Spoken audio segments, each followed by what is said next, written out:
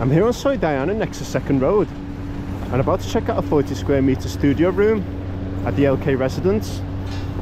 And this is the lowest price room available at 1,800 baht per night.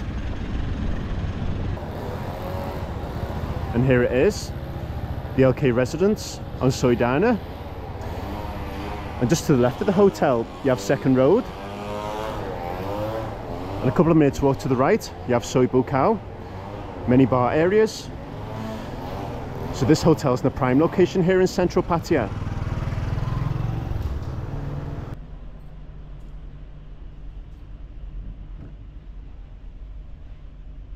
very soft bed.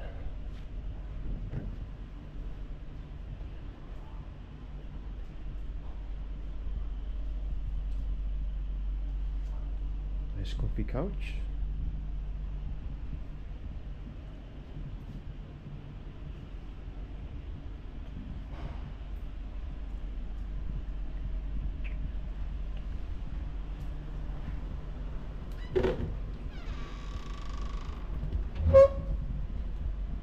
safety box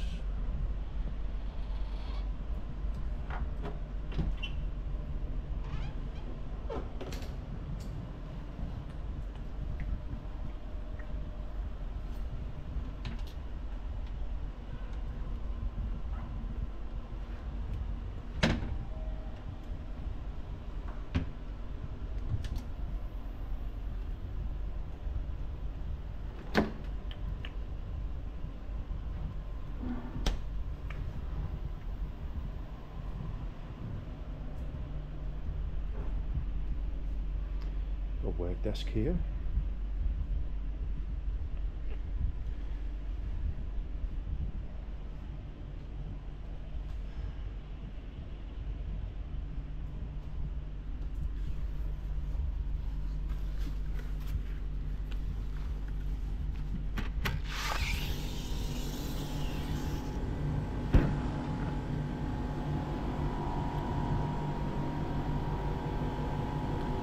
There's your balcony view. Just to the left you have Second Road. And behind the building Soi Diana. To the right you have Soi Buakhao. So I think this is the base complex here.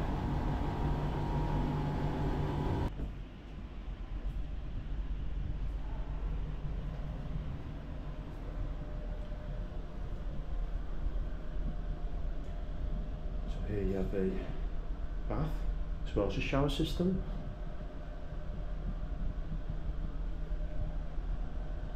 Set of towels.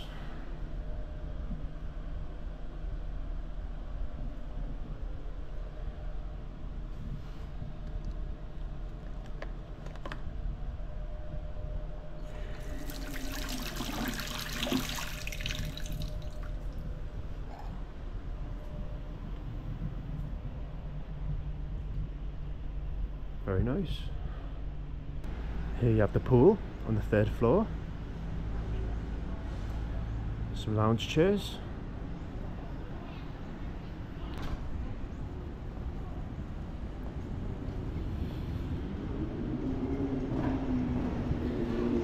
So right down here, Soi Diana. Straight ahead, Soi Buakhao.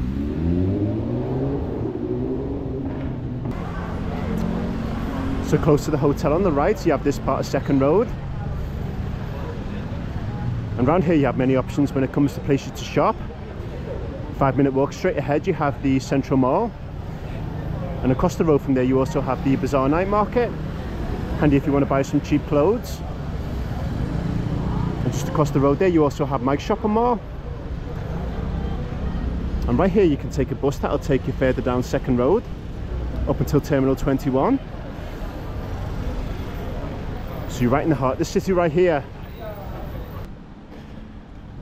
So the room that I just viewed at the LK is a 40 square meter studio and the cheapest one they have available at 1800 baht per night during high season as the walk-in rate.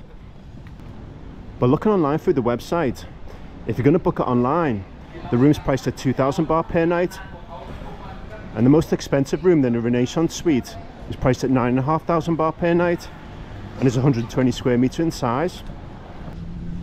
So that LK hotel is the same theme and style as other LK rooms that I've checked out here in Pattaya. But this room definitely furnished finer with quality furniture and a very comfy bed which passed the softness test. So inside the room there was a couch, dining table and chairs, desk and chair, chest of drawers and a handy kitchen area with a sink, fridge and a kettle. And inside the wardrobe there's a safety deposit box. In the bathroom there's a bath as well as a shower system. So you got both options. There's also a set of towels and other extras such as toothpaste, toothbrush, soap, shower cap and shower liquid. A 40 square metre, the room was fairly spacious inside despite the large amount of furniture inside the room. And as for the facilities inside the hotel, you have just the pool which is on the third floor. As for the location, if you want a hotel room right in the heart of the city, doesn't get better than that. Many hotspots close by and within walking distance. Plus where the hotel is located, there's many bar areas, especially around Soi Buakhao, where you have LK Metro, Soi Excite, Soi Chaiyapoon and Tree Town. So as for the downsides, despite the hotel being located in a very popular area in the centre of the city, it's also located in a very busy area of the city in terms of traffic, volume of people, and also night bars. So noise could be an issue, especially during night time. So as for the room, like I mentioned, it was very well furnished with good quality furniture. But one thing I noticed was how poor condition the inside of the wardrobe was. Chip paint and also stains. The TV set inside the room was slightly too small, which could be an issue if you're wanting to watch TV in bed with it being a distance away. The balcony view from the room that I checked out was poor, with it facing the side of the base complex, with not much else in view. And the balcony was in bad condition, cracked plaster that needs to be repaired. The inside of the room also lacked brightness, likely due to the restricted balcony view, plus a combination of the dark furniture inside the room. And the one appliance that the room did lack was a fan of any kind to keep you extra cool, especially during the upcoming high temperatures here in Pattaya. And lastly, is it worth 1800 baht per night? I'd say no. In that area, I've reviewed hotel rooms for half that price. Not as well furnished, but far better value and also better facilities. So out of 10, I'm going to rate that room a 6. High marks for how well furnished it was, how clean it was, and also the hotel's location in central Pattaya. But the room did have its downsides. The poor balcony view, the wardrobe having noticeable signs of wear, and also the lack of brightness inside. And in my opinion, the room is overpriced, but not dramatically. And there are far better alternatives around that area, like I said, especially Soi Buakhao, and also on Second Road.